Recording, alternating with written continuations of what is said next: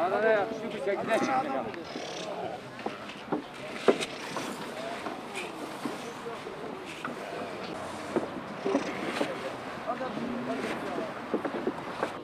Hayırlı işler olsun. Hayırlı satışlar.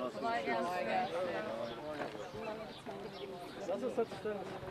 Adana Emniyet Müdürlüğü olarak e, bugün burada sizlere bazı konularda bilgilendirme yapmaya geldik. Sizler emek veriyorsunuz, satış yapıyorsunuz. Bu satışınız sonrasında da e, bazı kayıplar yaşamayın.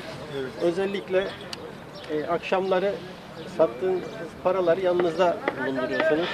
Bunların çalınmaması genelde amacıyla bankalar yakın olduğu bankalar yakın olduğu için oralara e, e, yatırırsanız yani bu tip şeylerden O şeyleri yapıyoruz zaten. Evet. hırsızlık o zaten. Ee, yine mallarınızı, buradaki mallarınızı birazcık daha güvende tutabilmek için ona göre tedbirler. Zaten asayiş ekiplerimiz Sağ devamlı onlar, evet. devamlı Evet, ekiplerimiz ederiz. kontrollerini yapıyorlar. Biraz bu günlere sıklaşırsa daha güzel olur.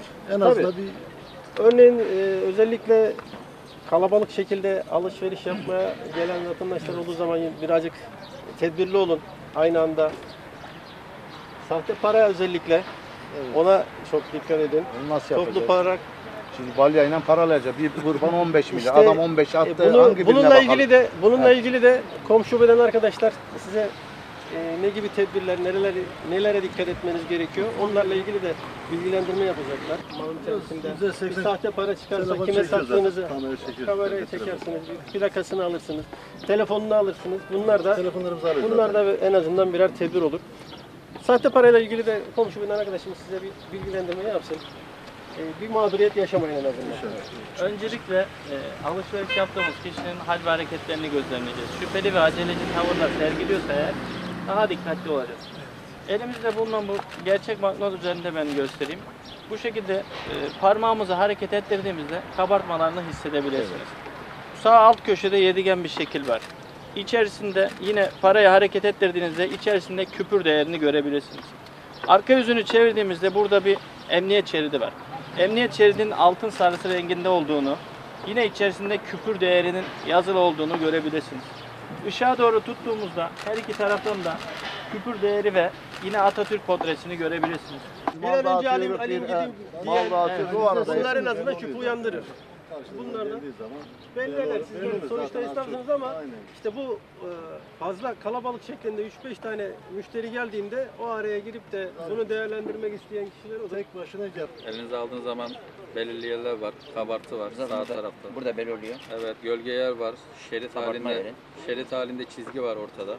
Onlara dikkat ederseniz bir de bu IBAN'a para yolluyorlar. IBAN'a para yolladığınız zaman hesaba düşsün ondan sonra malınızı teslim edin. Olur? Tamam. Teşekkür ederim. Olursa. Valla bilgilendirme yapıyoruz bu dolandırıcılara karşı. Özellikle para yoğunluğu olacak bu sene. Ee, sahte para hakkında bilgilendirme yapıyoruz. Parada şu şeride dikkat edebilirsiniz. Sağ üst tarafta kabartı var mesela şurada eliniz. İleri tarihli yolluyorlar. Siz de acele ettiğiniz zaman bakmakta gecikiyorsunuz. Fes de yapsınlar. Test yapsın.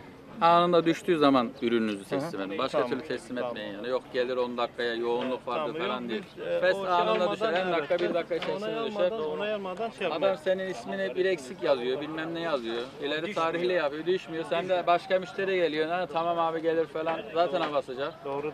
Ona duyarlı olursanız bir kişi ona bakacak abi. Yapacak bir şey yok. Acele etmeyeceksin. Parayı alacak, sahte paraya bakacak. Ona bakacak, onunla ilgilenecek.